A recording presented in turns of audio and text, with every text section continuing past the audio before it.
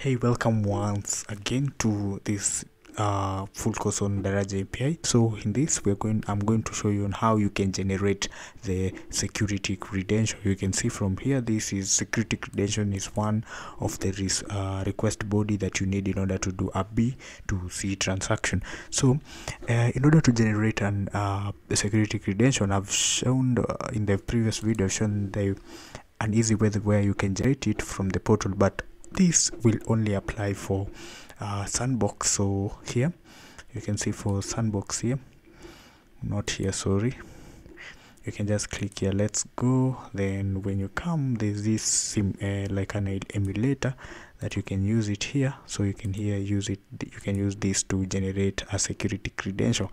And another way you can do which i i saw uh, the, there's a way you can do and so you can uh, generate another one from this. Let me take first uh, let me come here at apps then uh, click test credential so you can see there generate b2c credential value. So you can come here and choose for sandbox also uh, for sandbox then you can just do this. Let me take the password that i entered. This password here uh, where's the password? Or I can just take it from this from here from these APIs then click let's go. Then I will take the password that is used for test credential so that I can generate it from there. So I can come here and do this and copy uh, this. So when I copy this I can come to test credential. Then just do this and paste that. So you can see this is the password then choose here. Then I can just come here and generate a security credential where I can copy it and then come back to my B2C you can see here in B2C in B2C then take this. You can see when I remove it and I remove that then come and test first without the security credential you will see the error that it will give us.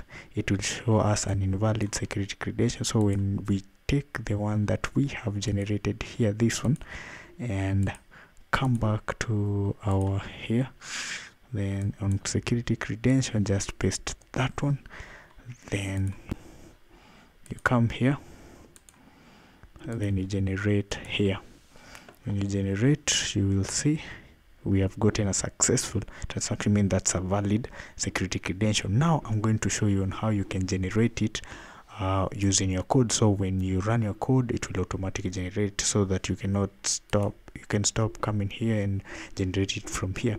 So this is how you do it. So here i've already created a file which i've named it as security credential so here you will need a public key then it will be encrypted. So let me do this first. Come here and add that and this is the password that we are going to use. So remember here in security credential you can come from the documentation here. From the documentation. From the documentation let's see the b2c you can see the b2c here in b2c i want to or not there. Come here to apis then click b2c when you click b2c you can come here at security credential so that you can see what i mean with the security credential. Uh, the security credential let me see it's on the request board here. You can see this is the value obtained after encrypting encrypting the api password.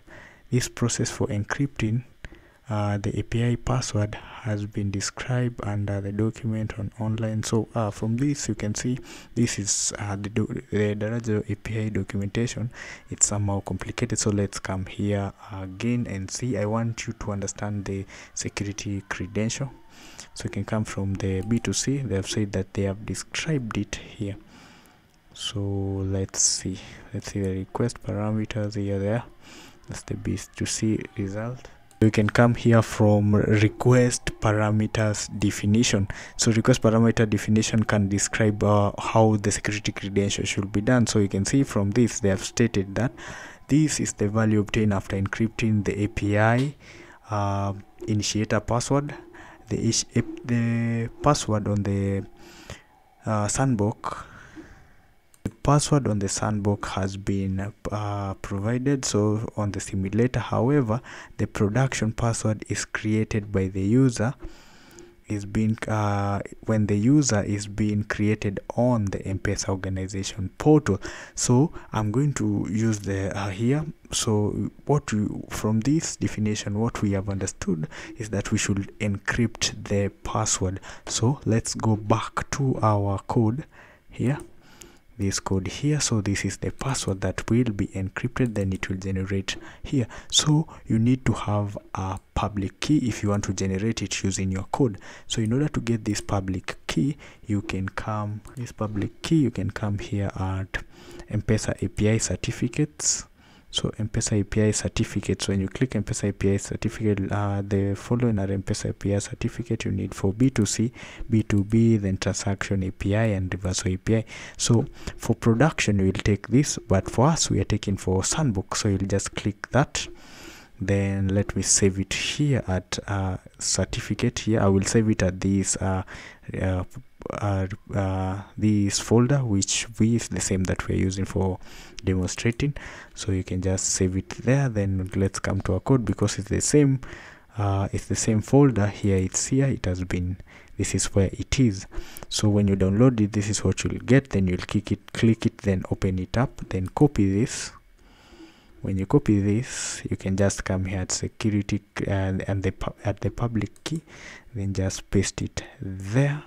Then the next thing we are going to test if it will generate the security credential uh, automatic from this. So let's come here then do this and take that and paste it there so we have not echoed echoed the uh, we have not echoed here. Let's echo this security credential echo. Then let's come again and see if it will generate a security credential. And you can see from here we have generated a secure successful security credential that we going we are going to use to uh, initiate b2c transaction. So the next thing uh, in order to test it if it is working successful we can just do this. I can come here and copy and take this file. Here the security credential then come to come here to the B2C then include the security credential. Include the security credential. Then I'm going to uh, comment that because this security credential this this variable will be accessed via this because are the same. So I will just do this then come and test the B2C and see if the security credential that will be generated here which will be placed here will work successful. So let's come to our test and write B2C and when we enter you enter the b2c you can see organization then accepted successful. So that's how you generate the security credential for your b2c and a transaction and other. So see you in the next video